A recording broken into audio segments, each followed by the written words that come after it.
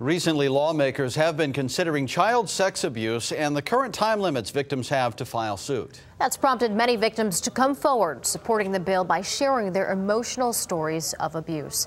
One man spoke to the Courant's Ariel Levin Becker. Tonight, we have more on his story and how he hopes to make a difference for others. Uh, asked me to undress and um, began taking photographs of us um, as part of his study. Um, and that's during that period of time is when the abuse occurred. Decades later, it's slightly easier to talk about, but just as difficult to accept. Pete, who only wants to be identified by his first name, says he was 11 or 12 years old when he was sexually abused in 1968 by Dr. George Reardon, a doctor at St. Francis Hospital. Like many others, he and his three brothers were part of what Reardon called a study. Pete's mom dropped the boys off one afternoon.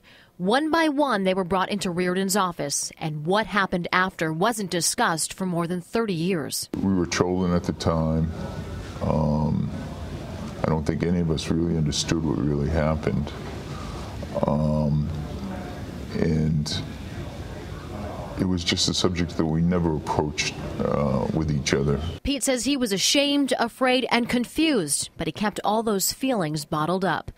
Then in 2007, nearly a decade after Reardon died, the owner of his former West Hartford home found more than 50,000 slides and 100 movie reels of child pornography hidden in a wall. That's when Pete and his brothers finally talked about what happened and discovered they all had the same horrific experience. I've been over to the West Hartford police station. I've seen the photographs of myself. Um, I think that I deserve a day in court.